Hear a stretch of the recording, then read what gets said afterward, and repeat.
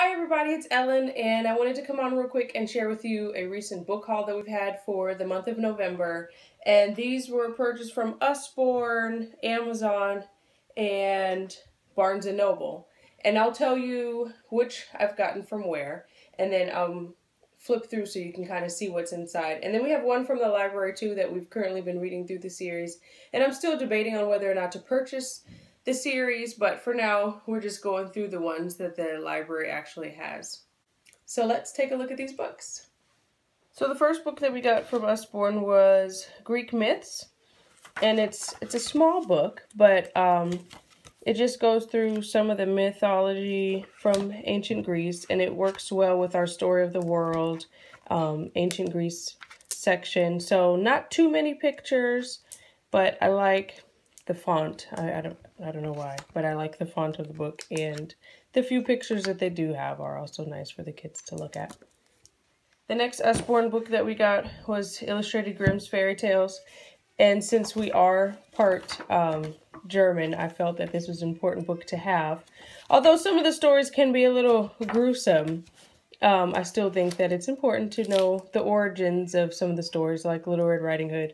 And for those of you that don't know, um, Little Riding Hood in America is like a very nice story, whereas the original Grimm's fairy tale, the um, the wolf actually eats the grandmother and eats Red Riding Hood, and then the um, hunter comes and he ends up cutting his stomach open, and for whatever reason, Red Riding Hood and her mother survive, and they fill his stomach up stomach up with rocks and then he ends up dying that way.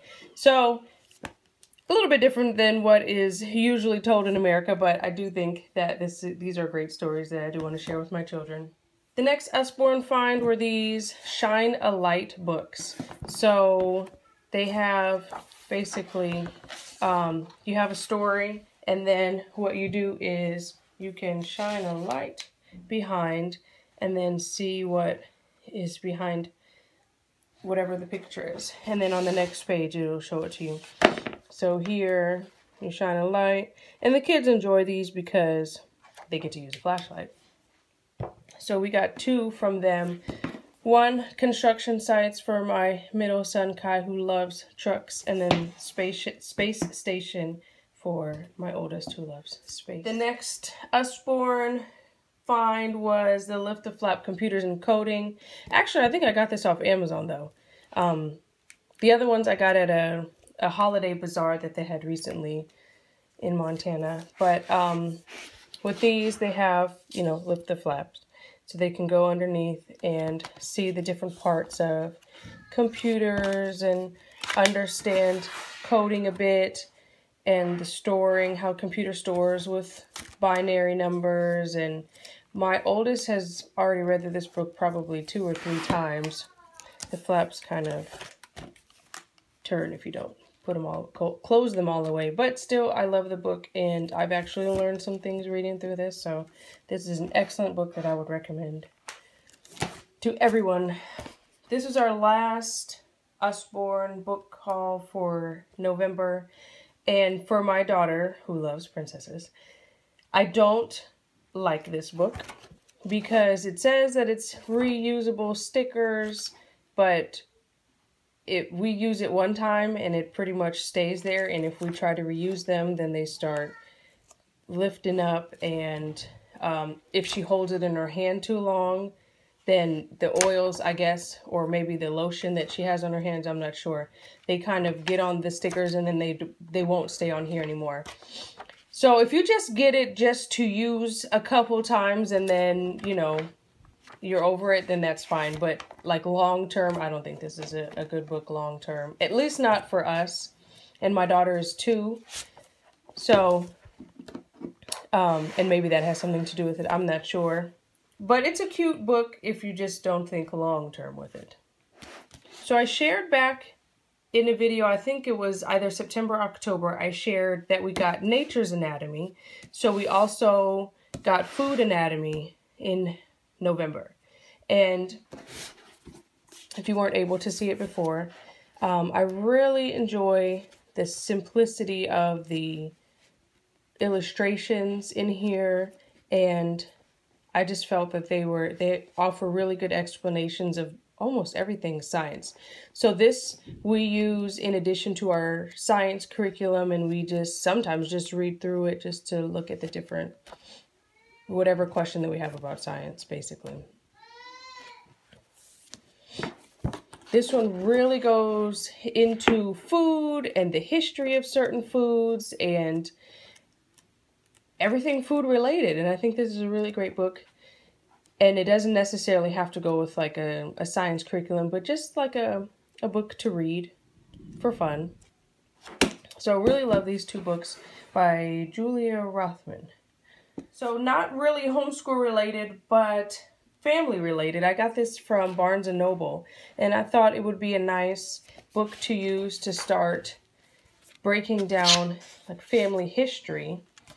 And um, it has places for photos, it has places for explanation on family and childhood stories from myself and husband and so I just want to create this book for my children to see our family history in one place. Another Barnes & Noble haul. We got everything you need to ace world history in one big fat book. And this is not necessarily to go with our curriculum, but I just really liked how the book was laid out and thought it would be just a good book to have in the house and to read through every now and then, um, depending on, you know, where we are in our history. We can just look in here and see what how they've presented it. The last book that we've been reading through, we got this from the library, and I'm still debating on whether to actually buy the whole series, but Franny K. Stein, and my oldest loves this one. We've read, um, we started with The Frandidate, and then we've read Lunch Walks Among Us. And then we've also read this one right here. And I cannot, the writing is so small, I cannot see that. But um, it's about a little girl who is a mad scientist and lives in this nice house and her family are all quote unquote normal people. But she has this like science lab and it kind of reminds me something like Pinky in the Brain because she has a little dog, Igor, that um, helps her basically. So I like this book because there are still plenty of illustrations for my four-year-old to stay engaged. And my oldest doesn't feel overwhelmed when reading this by himself because the illustrations kind of break up the reading for him. But it's a it's a cute little series and it's it's fun watching how she interacts with the world being a tad bit different and obsessed with her science creations. Fun book. Thank you for watching our book haul for November. I hope you enjoyed some of the books and maybe wrote down some that you can get for your family.